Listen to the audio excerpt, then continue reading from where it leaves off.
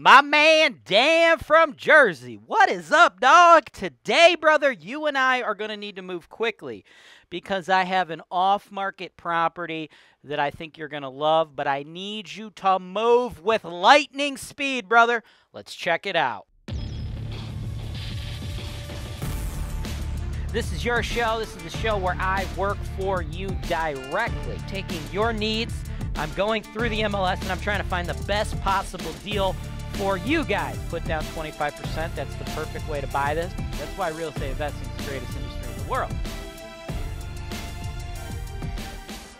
Welcome to the show. My name is James Wise. For all of you that do not know, right? What I do is I help people like you invest in real estate. Now, if you want to work with me one on one, get your own customized show like this because these are not published live to Holton Wise TV, folks. These are published after the fact, many, many months down the road.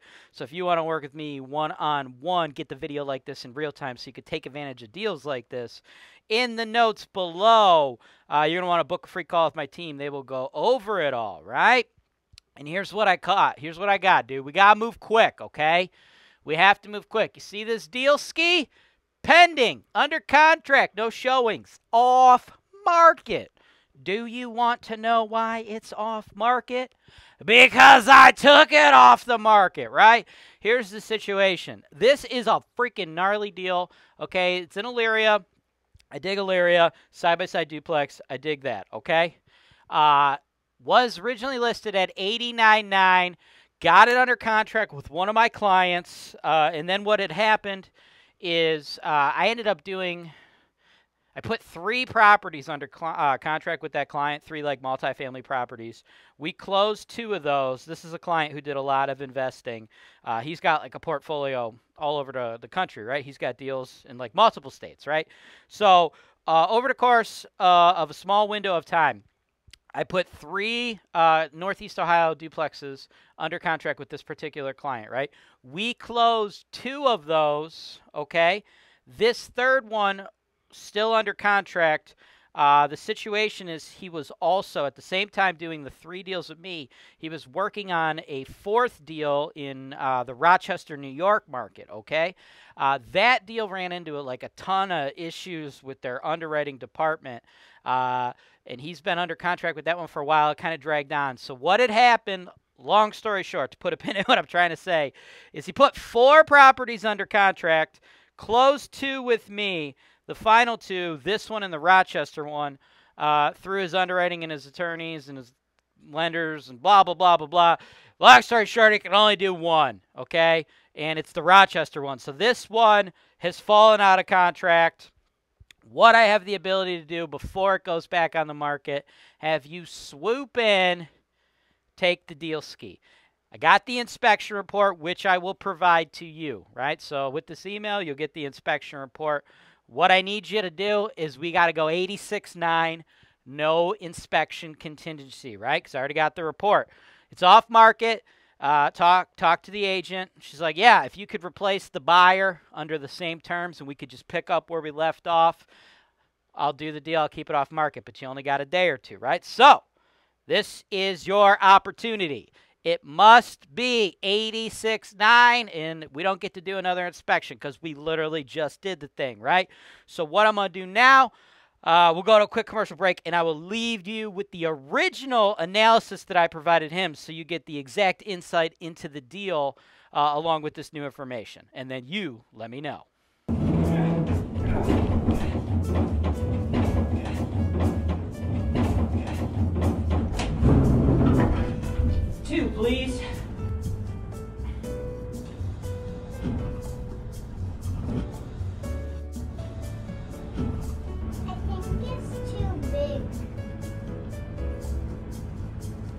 No, I think it'll shrink in the water.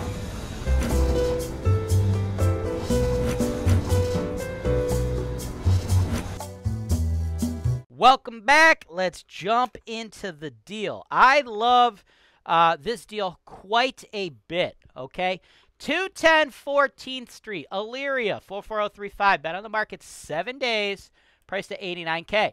Now, I love Elyria, dude. Oh my God, do I love Elyria, right? Here's the cool thing about Elyria. This is why I really love it. On a national stage, people are like, looking at the Cleveland market, right? Investors all over the place. Like there's always articles or this or that about Cleveland's a great uh, cash flow market. If you want to get cash flow properties, Cleveland, Cleveland, Cleveland. It, it, pops up everywhere, right? You know, you do something like what are the best cash flow markets in the United States? Cleveland's always in the top 10, right? Sometimes it's even uh, listed as number 1 on a lot of those publications, right? What's cool about all that is that it's Cleveland, Cleveland, Cleveland. It beats into everybody out there's head that all the Cleveland area is is the city of Cleveland. Not the case, right? The city of Cleveland's got like 350,000 people in there, right? The greater area, several million, okay? So there's a lot of suburbs in and around that area that are not getting a lot of attention. Elyria is one of them. I think it's a nice little sleepy suburb. It's like 40 minutes uh, west of the city of Cleveland. And uh, for those of you that are looking for some type of comparison here, right? where LeBron is from, Akron, right? Everybody says LeBron's from Cleveland, LeBron's from Cleveland, LeBron's from Cleveland. LeBron's not from Cleveland, LeBron's from Akron. Uh, that's south, south of Cleveland, about the same distance, right? So it's in the general area, right? We service Elyria. We have tons of properties in Elyria, right? But it's off the radar, which is great because it allows us, in my opinion, to pick up deals we couldn't have otherwise got if they were in Cleveland. This property would not have remained on the market for seven days if it was in Cleveland, folks. 89000 This thing's awesome. It's a side by side duplex. Side by side duplexes are, in fact, the best friggin' duplexes. Now, it's fully occupied with long term tenants, so do not expect uh, this thing to be like spick and span, beautiful, looking fresh, looking clean. The real estate agent for the seller only provided one photo because, guys, it's really friggin' tough to go through tenants' houses and take pictures. They don't like want to deal with all you fucking assholes like interrupting their life. But it don't really matter. Some people think that's a red flag. It's not. There ain't nothing special you're to see in there, folks. I'm to tell you this right now. I already know what it looks like. It looks like it needs a turnover when these tenants move out. They're long-term tenants, folks.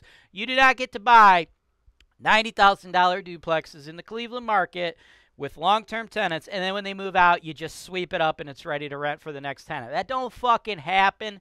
If that's your expectation it's wrong. You're gonna need to refresh the unit. Paint! Uh, if they got carpet we're replacing it. I like to replace it with vinyl or hardwood so you mitigate that cost in the future. You don't have to deal with that again right uh, we may need to do Home Depot Lowe's quality uh, kitchen cabinets, bath fixtures, right? So we might be looking at like five, ten, fifteen thousand dollars per unit when these folks eventually move out, right? These folks have been there for quite a long time, and it already cash flows where they're at. 750 and 600 but market rent since it's side by side which is the premium layout folks that's 800 a unit 1600 a month or 19200 a year right they have it listed at 89 we need to pay 89 okay I assume there's eventually going to be multiple offers on this. Yes, it's still on the market today because it's got an Elyria address as opposed to a Cleveland address and it's getting less national traction. But look, a lot of people will understand this is going to make money because this thing's a fucking cash cow. So be prepared to pay 89 or more, right? 16 hundo, long-term market rents. After you run your fixed and variable expense estimates with Holton Wise, handling everything on the ground for you, you're looking at an NOI of about 709 uh, for the month on average, 85 for the year on average. Some years will be better, some will be worse, right? As you see, we got capital expenditures. I'm I'm saving up 960 every year for you, right? That's for things like roofs, furnaces, hot water tanks, none of which are anticipated to be new. This is not a scenario where we get under contract for like 90 grand and then we get the inspection report back and you're like, "Oh my god!" The roof is like 20 years old. How much is a roof? And I go, oh, well, this roof would probably be like seven grand to replace. You go, oh my God, ask the seller for seven grand off. No, motherfucker, it's not. No, look, this house is worth every bit of 89 or more in its current condition with long term tenants paying below market rent, with units that are dated, and there is no expectation of there being a new roof, a new furnace, or a new hot water tank. I've factored that type of stuff into your analysis here, folks. Capital expenditures, right? 960 a year. You don't do a roof every year, obviously. You do a roof once every 30 years. Costs about uh, seven grand. Hot water tanks. You're usually going to be replacing those bad boys every 15 years. Cost about a G right now. Furnaces cost about 3 Gs. You're usually doing those about every three years. None of these mechanicals are brand new, folks. They're all currently working. Why would the seller replace them? If you got a furnace, it's probably going to work for another five years. Why the fuck would you replace it? You wouldn't, right? So the property's going to be worth that. Those are the proper expectations. The thing's still going to kick off a ton of money, right? Who's to say we actually have to kick these tenants out to get them up to market? If we slowly get them up to market, right? Slowly bring them up, we wouldn't have to have a turnover, and then we'd be looking at a friggin' 23.1% cash on cash return, right? Only 22 250 out of your pocket. This is a solid investment. As far as Elyria goes, as compared to Cleveland, I've already mentioned that nationally people aren't paying attention to it enough. In my opinion, uh, Elyria, it's like a high C. Maybe I might even consider it like a B neighborhood, dude. I believe personally uh, that the tenant base in Elyria is a little uh, more easygoing to work with. I feel like we're doing better with our Elyria tenant base than a lot of the West Side neighborhoods in Cleveland we deal with. Right, uh, crime appears to be lower, and like I just feel like overall uh, we're doing very well. Like if you give me uh, you know, the Cleveland, west side of Cleveland, Elyria, I, I enjoy investing in both of them, but right now I believe Elyria is probably uh, the better play that a lot of people don't know about. Additionally, the government, uh, much easier to deal with, right? Like this is a Cleveland market, folks. There's a lot of different cities out here, right? Cleveland, East Cleveland, Cleveland Heights, right? A lot of people think those three are the same. They're not. That's three completely different cities. Then we got Elyria, we got Lorain, we got Lakewood, Rocky River, Garfield Heights, Bedford Heights, Newburgh Heights. Parma Heights, Parma, uh, Brook Park, right? All these areas in the greater Cleveland area, every single one of them has a different government, different rules, different procedures, right? That's why you hire Holton Wise, because we can navigate all that. But what I'm telling you right now is I am really big on Elyria. And the other thing, too, didn't stress this enough. I'm really big on the fact that this is a side by side duplex. Uh, a, you get more rent, but B, what you do is and it's more important than the additional rent. Like if this is an up down, I would say the market rent's about 750, right? We squeeze an extra 50 bones uh, because it's the up down layout or the side by side layout versus the up down layout. Squeeze out an extra 50 bones per unit there, right? But that 100 bucks a month, 1200 a year, that's not what I love about it. What I love about it is it reduces turnover. You get long term tenants, right? Because uh, it's not as much uh, sound annoyance, right? Nobody's above you, nobody's below you, right? That kind of stuff causes tenants to fight. When tenants fight, they become unhappy. When they're unhappy, guess what? One of them usually moves out, right? So that becomes a problem. And the majority of duplexes in the entire Cleveland market, all the cities I just mentioned, most of them I would say like 95% are built with the up down layout. So whenever you get the opportunity to pick up a side by side property, absolutely do it. So, in my opinion, uh, there's no such thing as a can't lose deal, uh, but this is very much as close to that as I think you can possibly get in the Cleveland market. For your money right now, this duplex is a friggin' banger. Let me know what you want to do. Thanks for watching. Subscribe to Holton Wise TV for more financial information, education, and entertainment.